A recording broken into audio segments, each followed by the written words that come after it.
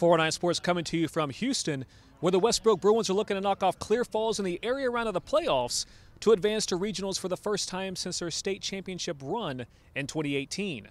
Here we go from Galena Park ISD Stadium. Both teams unable to get much going in the first couple possessions until Pearson Morelli launches deep to Luke Skywalker Vital. Ay Dios mío! What a catch! That's good enough for a Clear Falls first down. Then is Desmond Duran. Thank you. You're welcome. Knights go up 6 to nothing, but the extra point was blocked and returned 81 yards to the house for two. And here come the Bruins offense, led by LSU commit Bryce Anderson. First, he'll show off his wheels and connect with Smoking Joe Hayes for the first. Then, on the special playoff edition of Mama There Goes That Man, Anderson slicing his way through the defenders like a hot knife through butter. And Mama, there goes that man. Bruins up 8 6. Next possession, will Clear Falls have an answer? They will.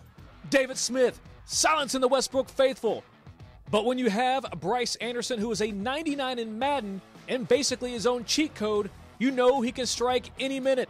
Taking it 53 yards to the house, Bruins go up 15 13, but would later fall behind 39 15 at one point, come back, get within three, but after a David Smith touchdown and a late Bryce Anderson interception, the Knights' Cinderella season will continue, knocking off the Bruins 53 36.